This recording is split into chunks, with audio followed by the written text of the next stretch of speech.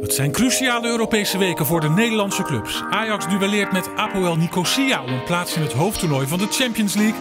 En in de Europa League proberen PSV, Feyenoord en AZ de groepsfase te bereiken. De eredivisieclubs beginnen donderdag met een thuiswedstrijd in de play-offs. Feyenoord stuit op Hapoel Beersheva, de club waar voormalig Excelsior-aanvaller Nigel Hasselbank onder contract staat.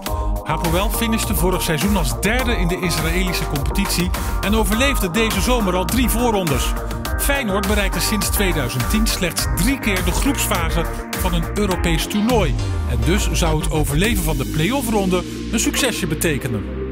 AZ neemt het op tegen FC Antwerp, dat de laatste seizoenen bezig is aan een opmars in de Belgische competitie.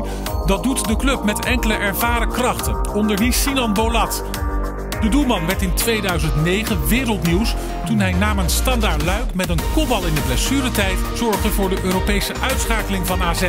Bij het voorkomen van een herhaling van dit scenario kan de formatie van Arne Slot in elk geval rekenen op zijn defensie. De Alkmaarders zijn namelijk de eerste eredivisieclub ooit die de nul wist te houden in de eerste zeven officiële duels van een seizoen.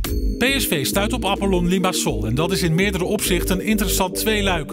Niet in de laatste plaats vanwege de situatie van Nederland op de UEFA-coëfficiëntenlijst.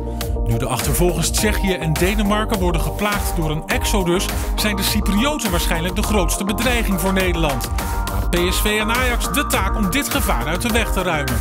Jeroen Zoet gaat op voor zijn 44ste Europese duel namens PSV, waarmee hij Hans van Breukelen zou evenaren. Ronald Waterreus en Jan van Beveren zijn de enige PSV-keepers met meer Europese wedstrijden in dienst van de Eindhovenaren. Nu nog de nul houden op een hopelijk opnieuw succesvolle coëfficiëntenavond.